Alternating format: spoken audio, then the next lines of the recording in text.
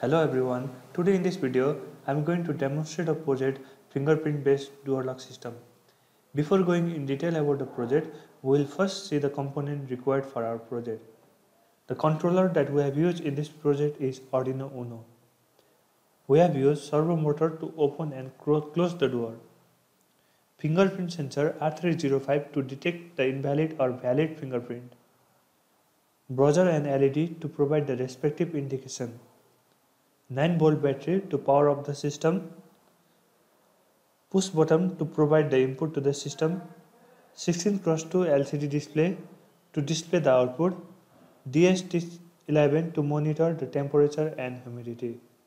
This DHT11 is optional.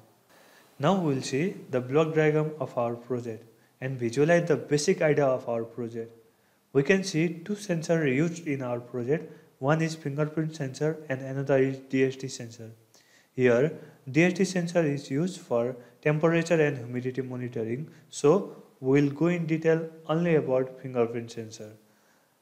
The main control of our project is provided by Arduino, which senses the value from the sensor and provide the respective output signal to the servo motor. The basic idea of this project is at the beginning a new user should set the fingerprint image in a system. After then, when a finger is placed in a fingerprint sensor, it click its image and compare the image with all the saved image of a system. If it found the match between the fingerprint, it provide high signal to the servo motor and door will open. If it did not found the match, the controller will provide low signal to the servo motor and door will not open. After all the connection, this will be the overview of our project. As per the instruction displayed in LCD, it is saying to press up or down button to start the system. Once the button is pressed, it is saying to place our finger in fingerprint sensor. Once we place the finger in the fingerprint sensor, it is saying fingerprint not found, try again later. In order to open the door, we must have valid finger. So at first we must register our fingerprint in the system. For that we must press enroll button and place the finger in the sensor. It is showing that image is taken and again we must place the finger in the fingerprint sensor and finally our image is stored in the system. Now we have registered fingerprint in a system so when we place our finger in fingerprint sensor the door will open.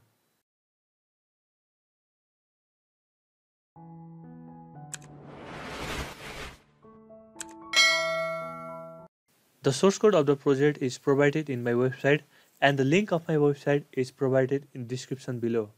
In this part, we have defined all the pins that we have used in the project.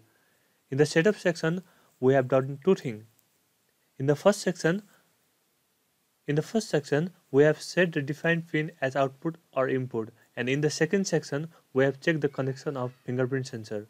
If the fingerprint sensor is connected correctly, then the message model found will be displayed in LCD and if the fingerprint sensor is not connected properly, then LCD displays model not found check connection message.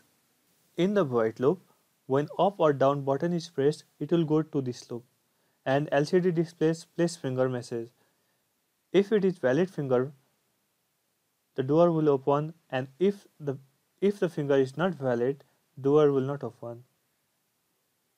In this enroll section, it has provided a new location for a new fingerprint and store this fingerprint in the system. And in this section, if we try wrong finger for a multiple time, then there will be security alert message displayed in LCD display. So here in this video, I have not gone in detail about the programming section, so if you have any question regarding this project, you can comment below.